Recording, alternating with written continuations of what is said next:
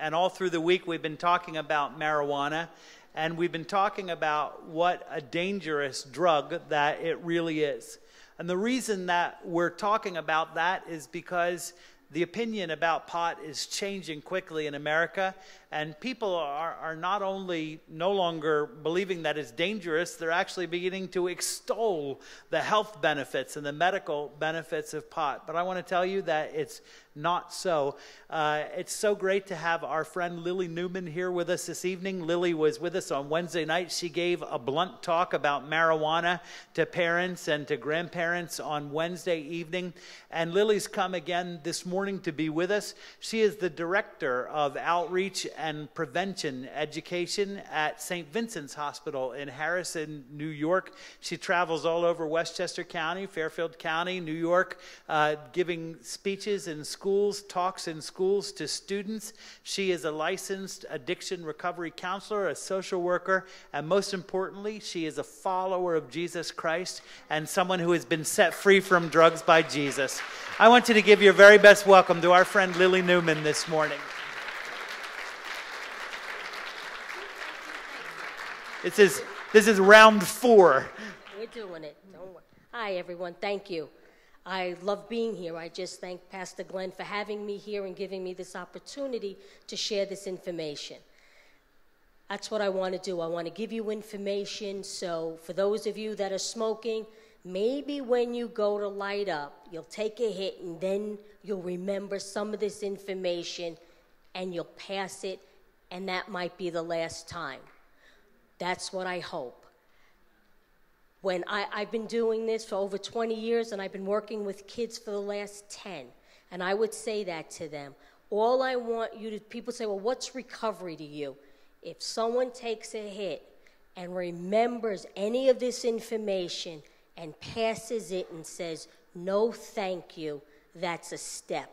So I'm here just to give you information and as they say in the rooms, if it don't apply, let it fly, and whatever you could use, take it. The first slide is teens say the darndest thing. When they come into treatment, they defend and hold on to their using, and this is the things that they say. Pot is not addictive, it's not harmful. Of course, they always say that their parents smoke because we parents will sometimes discuss our history, and our kids hold on to it and they'll go, well, look at them, they're doing fine. Oh, and they know plenty of successful people that smoke pot and it hasn't affected them. It can't be bad. That's the best one. They always tell me God created it, it's natural, and it's a plant. And how bad could it be for you? Oh, and they do better in school. They have convinced themselves that they do better when they're high. Parents. I have parents that come in, and this is what they tell me. I smoked pot when I was a kid and I turned out all right. They'll grow out of it. Oh, and I'd rather my kids smoke in the house, downstairs in the basement, in the backyard, because that way, if not, they'd be out on the street, in the playground, in the park, in the cars, they could get arrested. So better they do the illegal stuff, smoking pot in the house, than out on the street where they could get in trouble.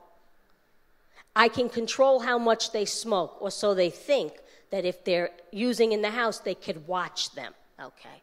And pot isn't harmless, it's harmless and it's not addictive. Pot today is 20 times stronger than it was. I don't think anyone in this room ever used, but if you did, it's 20 times stronger now. Next. This is what it looks like. If you have this growing, I say it every sermon. If you have this growing in your house, get it out. It's illegal. It's a pretty plant. It's not supposed to be there, though. Next. This is the bud. This is what they take the bud, they crush it up, they get it crushed already. They're not spending money on this. They use it to smoke and they also bake it with brownies and they make cookies out of it. And that's what the plant looks like without the bud. So if you see any of this stuff in your house, start having your antennas go up. And this is to give you information. So if you see certain things, you'll start to go, oh, ah, next. My kid's using. THC is the agent that's in pot that gets you high and it's mind altering. It has over 400 cancer causing ingredients in it. and it can cause serious problems expressing feelings and handling emotions. When you start using, you stop growing emotionally. So just think about that. If you're a young adult, I'm telling you that if you start smoking 9, 10, 11, 12, 13, 14, 15, 16, that's when you stop growing emotionally. You grow up, your body changes, but your emotional growth. And try living your life really having the emotional growth of a nine year old. It does lead to dependence. And when you stop using, you suffer from withdrawals, anxiety, agitation, changes in sleep and mood, and you're cranky as all get out. Next. Oh, I found this. This, our kids use anything they can to smoke pot out of. This is a young man who's taken his three Xbox controllers. Next. Smoke pot. I don't even know if they're smoking joints anymore. The blunts I know they're using, they take the black and mild, they're cheap cigarettes, take the tobacco out, and fill it with pot. That's about four joints in that cigar. I'm giving you this information, so if you see any of this stuff, the package of Black and Milds, start thinking, what are they using it? Why do they have it in the house? A soda can. Take a soda can, make a hole in the top, the bottom, hold it. So if you see soda cans with holes in them, they're using them as pipes. I'm not going to point out the kid who's smiling. Okay, now, you can also buy that, but that costs money. So they're making it out of the water bottles or a can. Next, oh, this. These are grinders. Would you know that this is something they use to grind pot if you saw it in the house? I wouldn't. Those up there, the eight ball, the pot leaf, I would think. And those watches, they're grinders in them. So now you can take your drugs, grind them, and smoke them everywhere without it being conspicuous. Next. He, oh, this is my personal favorite. I learned this working with the kids in treatment. See the bounce, those sheets, the dryer sheets? They put them in the empty roll of the toilet paper and it acts as a filter so that when they smoke and they inhale it, they blow it through the and it catches the smell so you don't smell it in the house. And if they have the window open and incense burning, you're not going to catch it. So to hide the smell of that, pot that's ingenious. Another tip if you see this stuff in their room, start asking questions, please. And I'm going to tell you a quick story. My girlfriend Claire, her mother Helen, would find her silver spoons with burn marks on the bottom. And she'd collect them and she'd wash them and then she'd keep finding the spoons. So, and bloody tissues in her room. So one day she said to me, Lil, I see all my good silver spoons burned on the bottom. I don't understand it. I said, Well, your daughter's shooting up heroin, and she's using the spoons to cook the heroin. She said, Nah, that's not possible. My daughter wouldn't use my good spoons. Not that my daughter wouldn't shoot heroin. My daughter wouldn't use my good silver. And this woman really had good silver.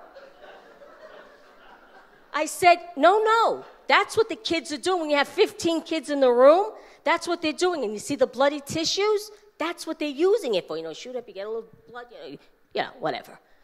She couldn't fathom that this was going on in her house.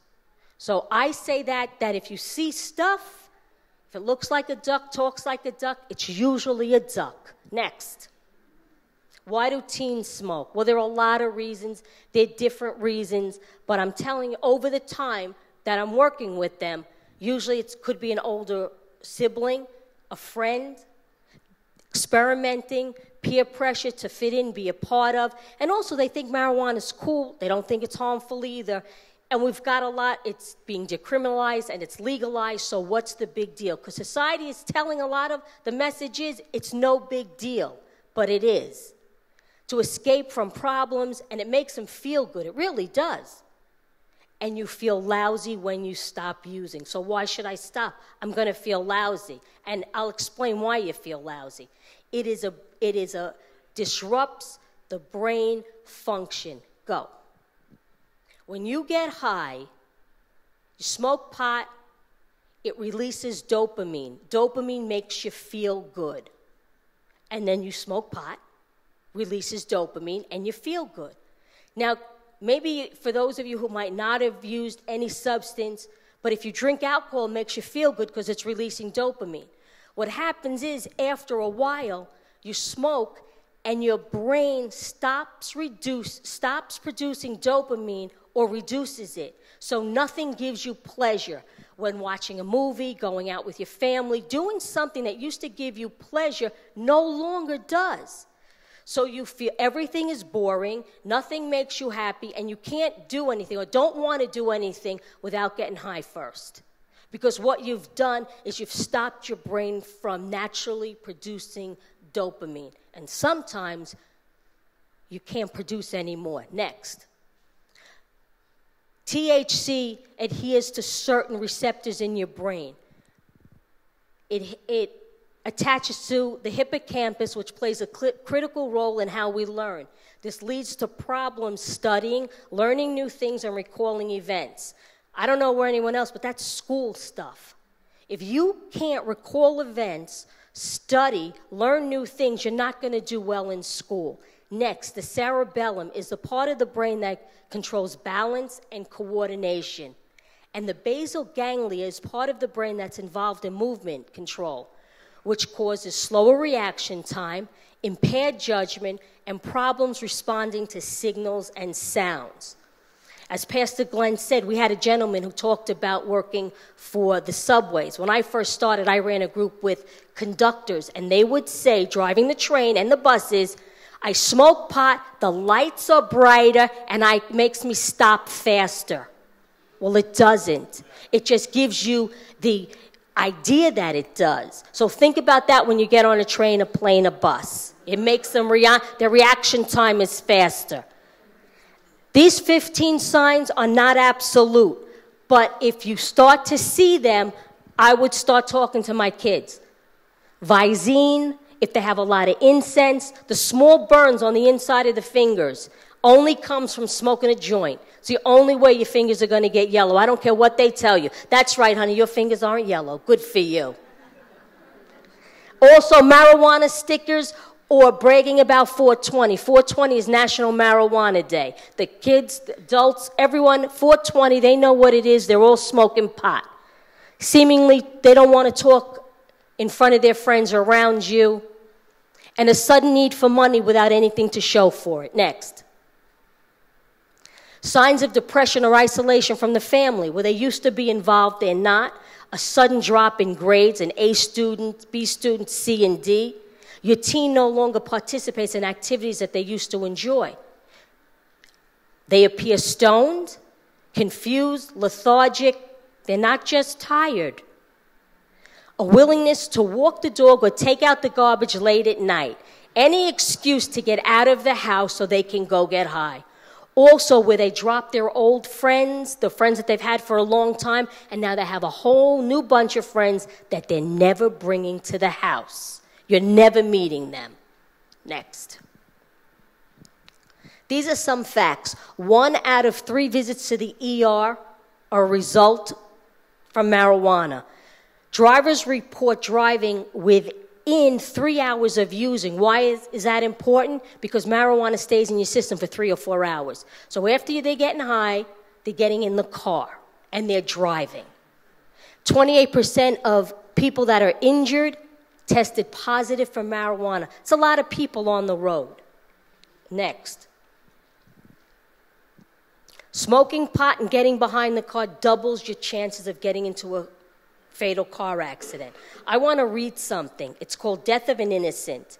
I went to a party, Mom. I remembered what you said. You told me not to drink, so I drank soda instead. I felt proud inside, Mom, the way you said I would. I didn't even drink, even though the others said I should next. I know I did the right thing. I know you're always right. Now the party is finally ending as everyone is driving out of sight. As I got into my car, I'd get home in one piece because of the way you raised me so responsible and sweet. Next. I started to drive away, but as I pulled onto the road, the other car didn't see me and hit me like a load. As I lay there on the pavement, I hear the policeman say, The other guy is drunk, but I'm the one who'll pay. Next. I'm lying here dying, Mom. I wish you'd get here soon. How could this happen to me? My life burst like a balloon. There was blood all around me, and most of it is mine. I hear the medic say that I'll be dead in a short time. Next. I just wanted to tell you, Mom, I swear I didn't drink. It was the others, the others didn't think. He was probably at the same party as I. The only difference is he drank and I will die. Next. Why do people drink? It can ruin your whole life. I'm feeling sharp pains, pains just like a knife. The guy who hit me is walking, Mom, and I don't think it's fair. I'm lying here dying, and all he can do is stare. Next. Tell my brother not to cry. Tell daddy to be brave. And when I go to heaven, put daddy's girl on my grave. Someone should have told him not to drink and drive. If only they had told him, I would still be alive. Next. My breath is getting shorter. I'm becoming very scared. Please don't cry for me, Mom. When I needed you, you were always there. I have one last question before I say goodbye. I didn't drink and drive, so why am I the one to die? Thank you.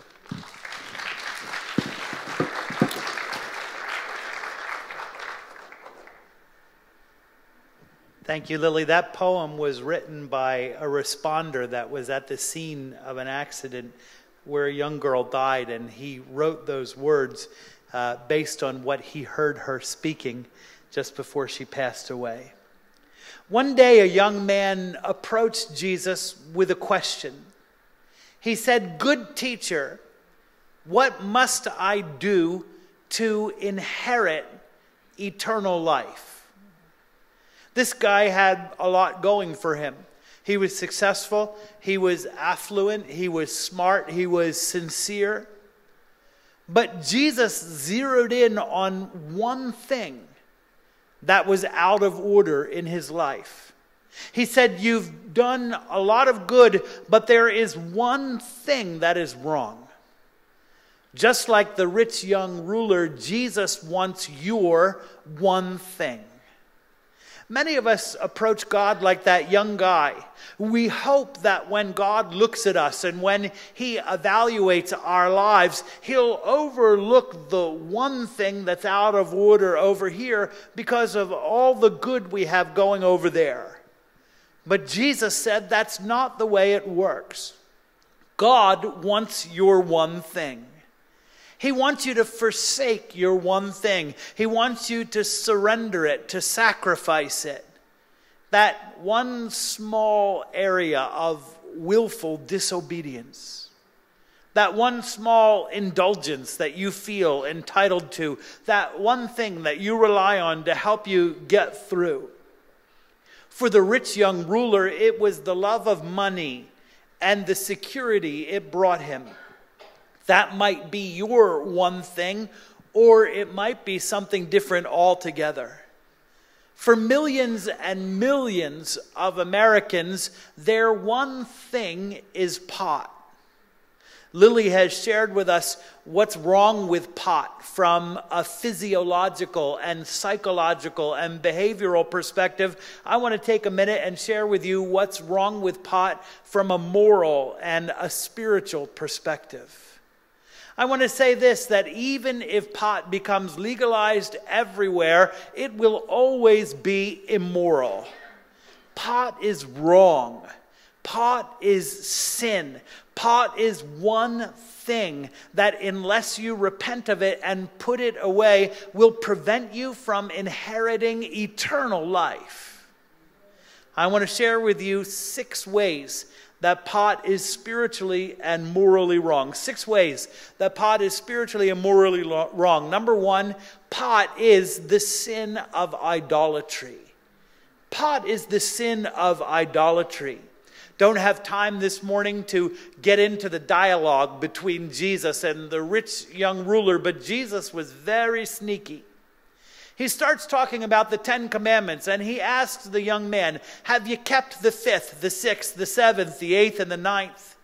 And the rich young ruler was very happy. He says, Yes, yes, I have. And Jesus affirms that, yes, indeed, he did, but he got snagged on the 10th commandment Thou shalt not covet. And in breaking the 10th commandment, he inadvertently broke the first commandment on which all the others hinge Thou shalt have no other gods before me. The rich young ruler's sin was idolatry. In just the same way, pot is the sin of idolatry. It's the sin of putting something ahead of God in your affections. It's the sin of loving something else more than Him. Last week we talked about how God has created us in such a way that our hearts are programmed to set their affections on one thing and go after them with all of our being. One of the things that strikes me about pot is the amazing hold it has on people's hearts. People who use pot love it. They have an amazing devotion toward it. They adore it. They talk about it. They brag about it with their compatriots. They venerate pot. They revel in depictions and symbols of it. They become part of an actual subculture that is built around it. People who use pot fiercely defend it. It bothers them. If anybody speaks negatively about pot, they're easily offended on behalf of pot and on behalf of all those who bow their knee to it. In fact, they are militant about defending their right to use pot our Weed Week banners that are out there on King Street were up for less than 24 hours when somebody came at the beginning of the week and under the cover of night stole them away. Either because they venerate pot or because they wanted to defend it or both. That is $750 in banners they took. The ironic thing is, we were created to love God like that. We were created to defend God's honor like that. People who use pot are dominated by it. Can't stop thinking about it. They yearn for it. Can't wait to use it. Again, contrary to the lies that are circulating all over, pot is highly addictive. Learned from Lily that withdrawals don't even peak until about four weeks after you have stopped using. People will lie to get pot. They will manipulate to get pot. They will take dangerous risks to get pot. They will steal to get pot. Paul said it's your master. Don't you know whatever you submit yourself to, that is your master? If you smoke pot, weed is your God. And the Lord God says, There's not room enough for two of us on the throne of your heart. Jesus said, No man can serve two masters. He will love one and he will hate the other. You cannot love both Jesus and cannabis. If Jesus isn't Lord of all, then he's not Lord at all. It is his way or it is the broad way that leads to destruction. David has said, Who shall ascend the mountain of the Lord? Who shall stand in his holy place? Only he who has clean hands and a pure heart, who does not trust in an idol. Paul said, Don't fool yourself. Idolaters will not inherit the kingdom of heaven. Beloved, listen to me. And these are serious and strong words. If you do not surrender pot to Jesus, you will miss out on God's abundant life here on earth, and you will miss out on eternal life in heaven. I don't say those things to scare you, I say them to terrify you. Six ways that pot is spiritually and morally wrong. Pot is the sin of idolatry, and second, pot is the sin of distrust in the Lord. Ultimately, the rich young ruler's problem was a lack of faith his attachment to money boiled down to an issue of trust. It's actually really quite ironic. He was willing to trust Jesus with his eternal destiny, but he couldn't bring himself to trust Jesus with his earthly existence. He thought he knew better than Jesus. He thought that his own way was better than obeying Jesus. He thought that he could provide for himself better than Jesus. It's the same with pot. It's a sin of distrust in the Lord. People who use pot rely on it. They rely on it to ease their pain. They rely on it to help them forget about their troubles for a little bit. They rely on it to help them to calm their nerves, to help them relax and feel peaceful. Beloved, those are all things that we're supposed to rely on the Lord for.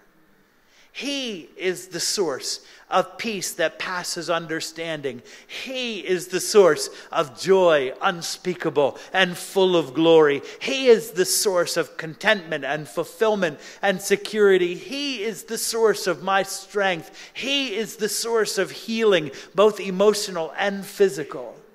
And let me say this if it ever comes down to a choice between physical suffering or disobeying God, choose to obey God and suffer instead. His grace will be sufficient for you. Martin Luther said, Whatever your heart clings to and relies on is your God. When people use pot, or we could put a whole bunch of other things in that blank, but when they use, they're actually saying, God, I know better than you. I know how to meet my own needs better than you. I know how to take care of myself better than you. I know what's best for me better than you. But what does the word say? Trust in the Lord with all your heart and don't lean on your own understanding. In all your footpaths, submit to Him and He'll direct your highways. Six ways that pot is morally and spiritually wrong. Number three, pot is the sin of untamed sensuality. Pot is the sin of untamed sensuality. Pot gratifies the sinful cravings of the flesh. It's giving in to the body's evil desires and obeying them. It allows sin to dominate in your mortal body. Pot is what Paul calls sowing to the flesh. It's planting bad seeds in your heart that eventually yield a whole crop of bad things sexual immorality and lust, shamelessness, hostility, suspicion, paranoia, isolation, hatred, fits of rage. Wherever pot is present, other sins are sure to be present. Pot might make you feel peaceful for a couple or three hours, but the long term effects of pot are devastating on your personality and on your relationships. If you're using, let me just ask you, how is that working out for you? How are your relationships going? I doubt that they're getting better. The outcomes of pot are precisely opposite of the outcomes of being led by the Holy Spirit. Following the Holy Spirit results in love in gentleness, in goodness. It results in self control. Paul said the end result of pleasing the Holy Spirit is that we inherit eternal life, but the end result of untamed sensuality is destruction. Paul said in Galatians 5:21, "I warn you that those who live like this will not inherit the kingdom of God." Six ways that pot is morally and spiritually wrong. Number four, pot is the sin of self defilement. It's the sin of self defilement. Pot defiles your physical body. Lily just talked to us about that. Pot defiles your soul. It changes your personality, as we just described. And pot defiles your spirit. It defiles your conscience in the Revelation, John saw the New Jerusalem, the eternal home of all those who belong to Jesus. And he says about the New Jerusalem, nothing impure will ever enter it, nor will anyone who does things that defile, but only those whose names are written in the Lamb's book of life. Six ways that pot is morally and spiritually wrong. Number five, why am I unloading both barrels on you? It's because people keep asking, what's so wrong with it? What's so wrong with it? So I don't want to leave any stone left unturned. I want to give you all the ammunition that you can have. Number five, pot is the sin of unmitigated selfishness. Anytime I can use the word unmitigated in a sermon, it's a good day Pot is the sin of unmitigated selfishness. Let me say to this if you use pot, you are selfish, selfish, selfish. If you use pot under your parents' roof, you are selfish. Your parents deserve a kid who is fully engaged in the life of their family. They deserve a kid who is joyful. They deserve a kid who is grateful. They deserve a kid who is respectful. During that very short window of years that they have you, they deserve to enjoy you. They put up with a lot to get you. Listen, if you're a parent and you smoke pot, you are selfish, selfish, selfish. Your kids deserve a parent who is sober. Your kids deserve a parent who is lucid and in control. Your parents deserve a kid who is Christ dependent, not codependent. Lily last night shared her whole testimony, and it was so powerful how Jesus set her free after 15 years of addiction. But that point that she brought out that at whatever age you start using, you just freeze emotionally and you go on and you begin to live life in an adult body with the emotional maturity of a 15 year old. Let me tell you something your kids deserve more than a 15 year old mom or a dad. I don't say this to make you feel bad, I say it to make you feel terrible. What's the classic line of substance abuse? I'm only hurting myself. Well, first of all, why would you want to hurt yourself? But secondly, what a perfectly selfish thing that is to say. As if no one else in your life has the right to care about you. As if no one else in your life gets hurt watching you hurt yourself. As if no one else has the right to participate in your life. As if no one else has the right to depend upon you. As if you have no responsibility to your family or to society. It is all about you, honey.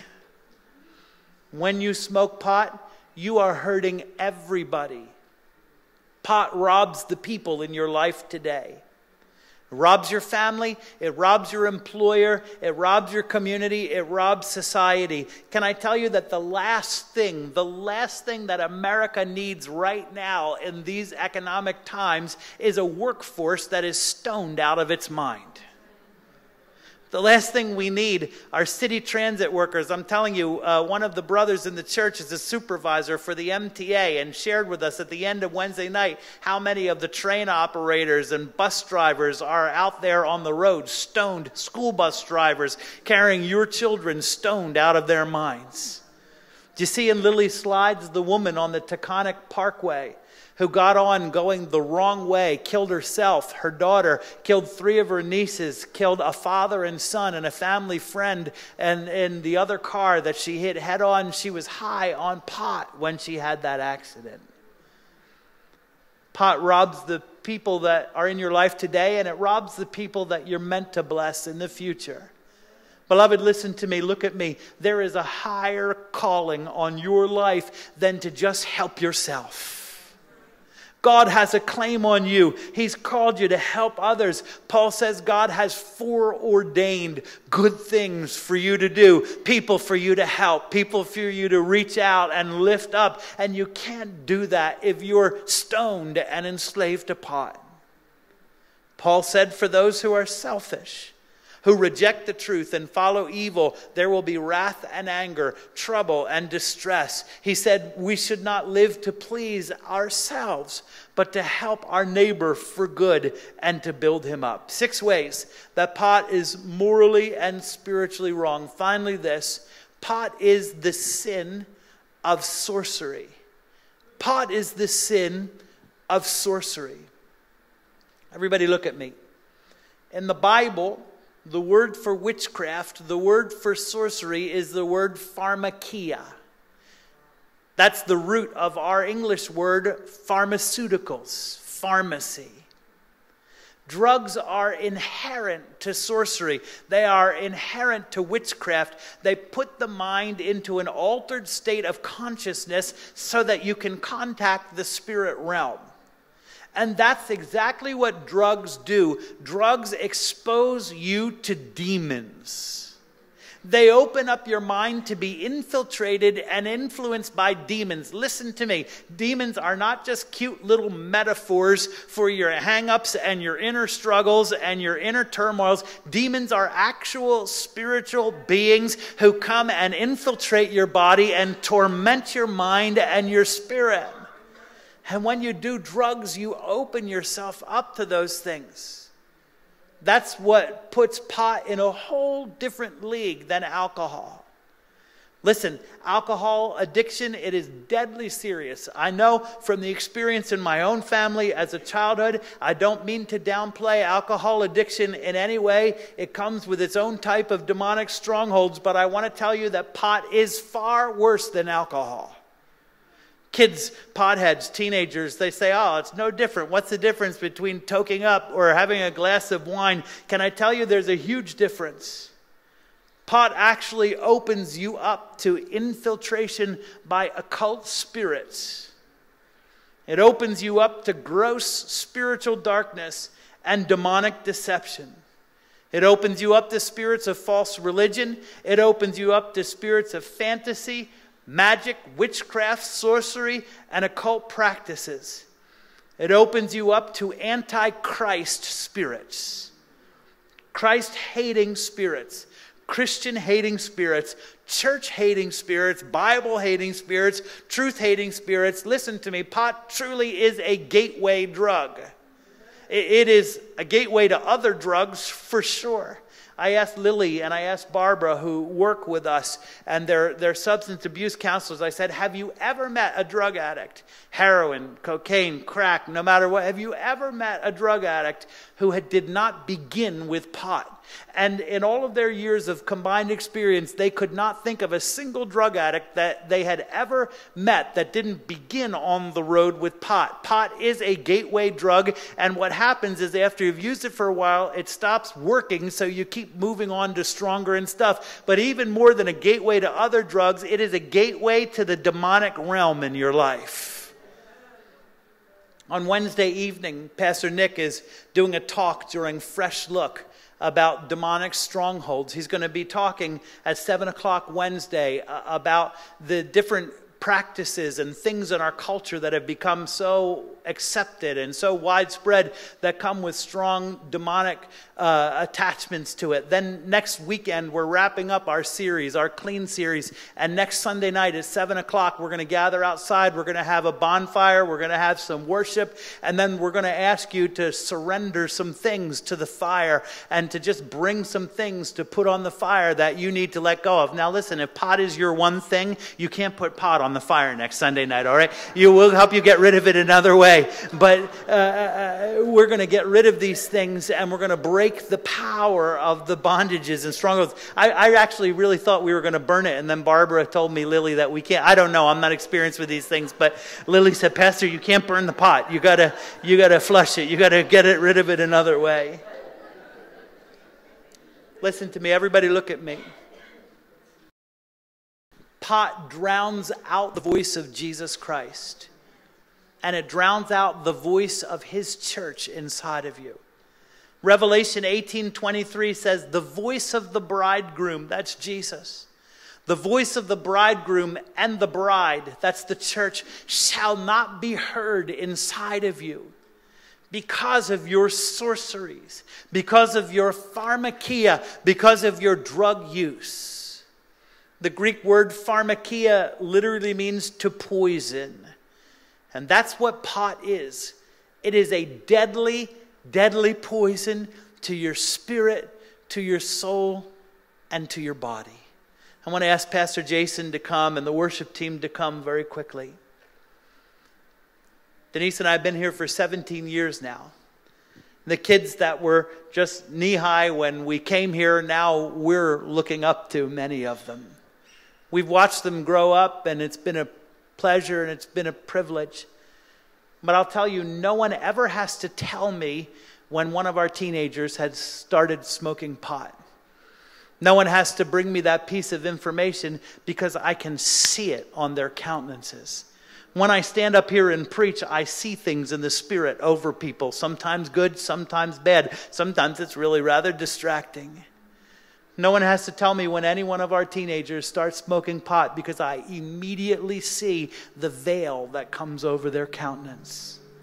I see the misery. I see the demonic oppression. I see the bondage that comes over them. I'm so thankful that Peter shared his testimony and was willing to do that. That was brave. And when you see Peter, you need to just thank him for sharing that testimony. But it meant so much to me because I remember the day when I saw Peter's countenance change from something dark back to something beautiful.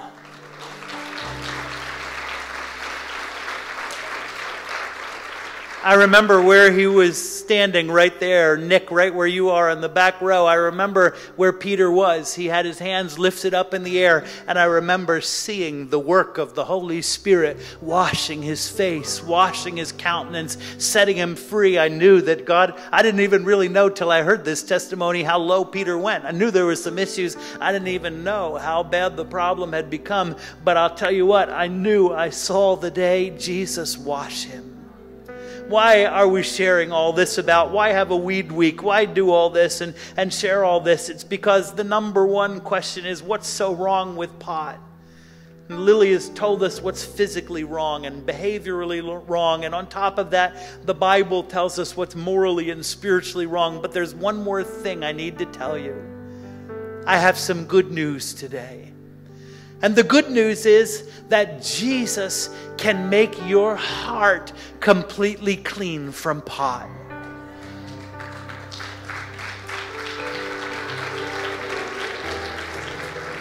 You don't have to live in slavery to marijuana.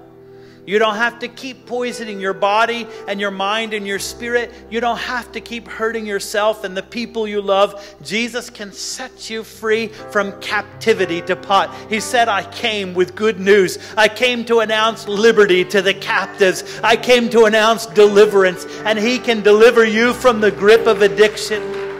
You don't have to keep sneaking around. You don't have to keep hiding. You don't have to keep taking risks, going to shady places and consorting with shady people. You don't have to keep blowing all your money and taking your parents' money. Jesus can set you free. He can give you life and that more abundantly. Jesus gives peace that endures. He gives joy that continually replenishes itself. You can enjoy being you, and others can enjoy you too. The Bible says God is able to save completely those who come to Him through Jesus. That means that Jesus doesn't just make you a little less addicted, He makes you 100% clean.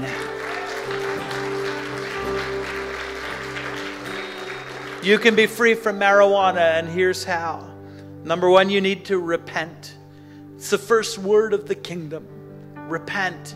Admit that you've sinned and confess your sin to God and ask Him to forgive you because of what Jesus did on the cross. You need to surrender your one thing to God and you need to ask Him to take the love of it out of your heart. Maybe there's something that you need to bring to the Ephesian bonfire next Sunday night at 7 o'clock, and you need to just say, God, take the love of this thing away from me. You need to submit to Jesus' leadership in your life. Listen, Jesus loves you just the way you are, but he loves you way too much to let you stay the way that you are. This is love for him, that we obey his commands, and his commands are not burdensome. Commit to follow Him 100% and use the resources that are available to you right here at Harvest Time Church to help you get cleaned up. Everybody, look at me. We have deliverance prayer available here at Harvest Time Church. We have a 12 step recovery program that meets every Tuesday evening. We have in house counselors available to help you. We can refer you to Christian counselors that we work with all the time that can help you. We have access to Christian residential recovery programs. There is a list in your bulletin of resources. Listen, if this is an issue in your life, if this is an issue in your home, I tell you, go after it. Go after it. Get help. Reach out for HTC instead of THC.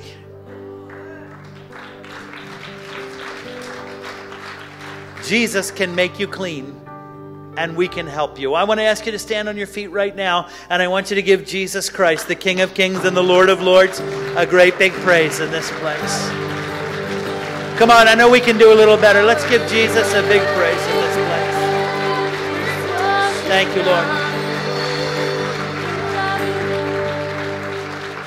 I asked Pastor Jason to share one of my favorite old hymns. Listen while he plays and sing along if you know it. What can wash away my sin? Nothing but the blood of Jesus. What can make me whole again? Nothing but the blood of Jesus. What can wash? What can wash away my sin? Nothing but the blood of Jesus. What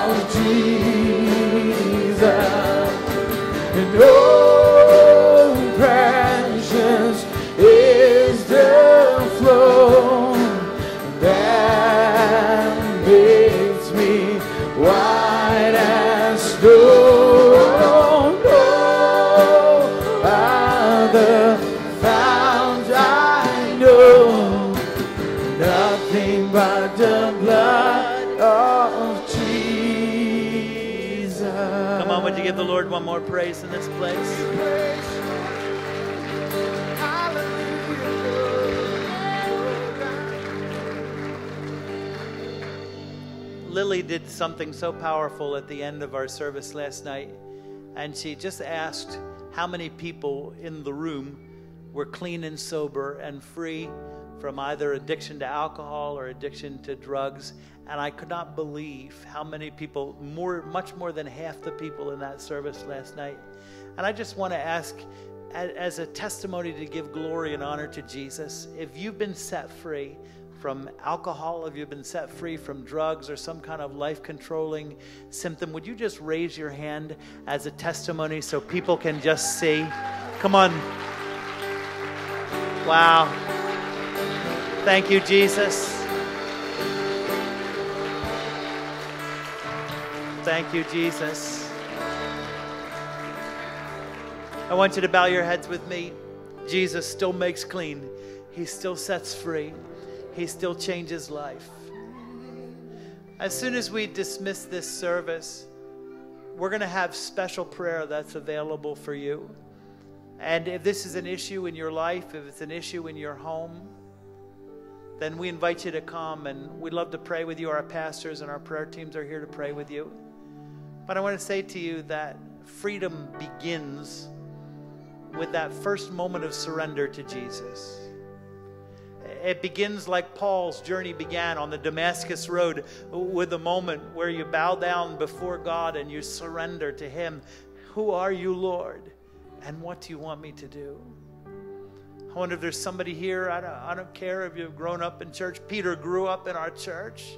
He heard the gospel from the, he was in our nursery. He was uh, in our kinder church. He grew up in Sunday school, but there came a, a moment in his life when he was 24 years old when he said, God, if you'll make me into the man that you want me to be, I'll serve you the rest of the days.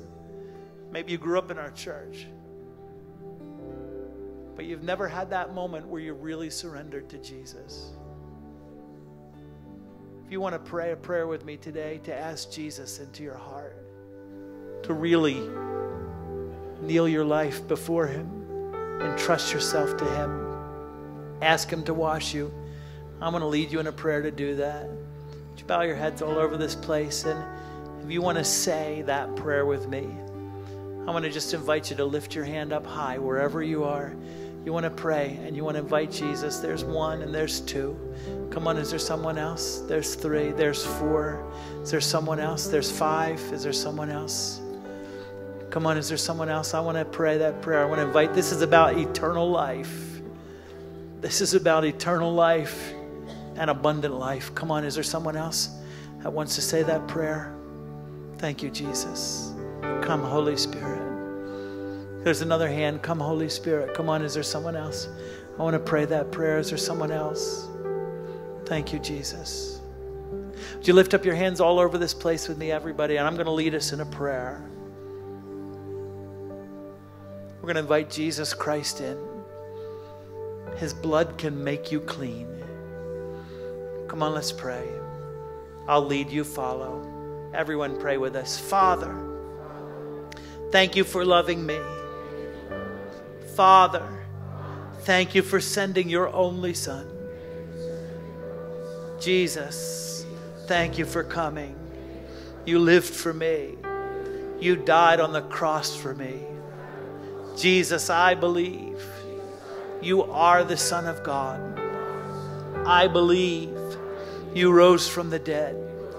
I confess with my mouth Jesus is Lord. Jesus, I need you. I admit I'm a sinner. I confess my sin to you. Jesus, forgive me. Wash me. Cleanse me from sin. Take the idol off of my heart and come sit on the throne. Jesus, fill me with the Holy Spirit. I invite you now to be my Lord and the leader of my life. In Jesus' name, amen. Thank you, Jesus. Thank you, Jesus. There's one more thing that I want to do this morning. In Cleansing Stream, we, we pray prayers of repentance and renunciation. Something very powerful that we do in the Cleansing Stream retreat. I have never used marijuana thankful to the Lord for that. I was actually in Bible college. I was working a summer job when I was in Bible college. I was 19 or 20 at least when I ever saw it for the first time. Somebody came into the auto parts store where I was working, smoking a joint, and I didn't know what it was. And after he left, one of the clerks came running down the aisle, and I can't believe that guy was smoking a joint out in public like that. That's the first time I ever saw it. Never used it. But I want to lead us in a prayer of repentance and renunciation. And what we do in Cleansing Stream is even if it's not your issue, just to support those in the room, we all say the prayer together. If you're using now and you want to quit, if you've used and it's something that you've never really made right with the Lord, I want to lead us in this prayer for repentance and renunciation and breaking. And then, if this is an issue in your life or your family, as soon as we dismiss, I want you to come forward for special prayer. I'm going to lead us in this prayer, and I want to invite everybody, if you would, if you're willing, if you would say this prayer with us. Let's pray. I lead you, follow. Father God, I repent for participating in marijuana. I repent for exploring. I repent for using.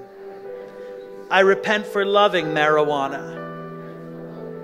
I repent for proliferating the use of marijuana. I repent for lying, manipulating, and stealing to feed my addiction. I repent for any and all drugs that I've used subsequent to marijuana. I repent for hurting myself, for hurting others, and for hurting you, God. Marijuana, I renounce you in the name of Jesus. I renounce all other drugs. I renounce all other illicit behaviors associated with drug use. I renounce any and all partnerships with spirits of addiction. I cancel any actions or words that have given you a legal foothold in my life. I shut the door on you and seal it closed in the name of Jesus. And now, by the blood of Jesus and through his victory at the cross, I break the power and influence of marijuana. I cancel all agreements I have made with marijuana.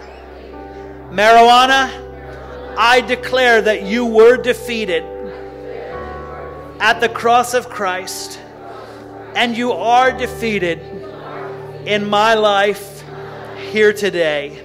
In the mighty name of Jesus, amen. Come on, let's give God some praise.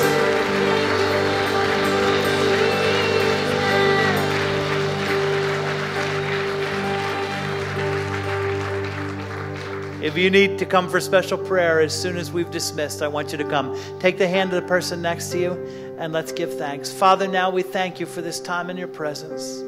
Thank you for the people you love so much. And as we go our own way, I pray the cloud of your presence would envelop us. Pray that your protection would surround us. Pray that your provision would accompany us. Pray that your providence would lead us and your peace encircle us until we come together again. And everyone said, Amen and amen. God bless you, everyone. Have a great week in Jesus. Wednesday night at 7 o'clock, fresh look. And next Sunday, we'll see you. God bless you.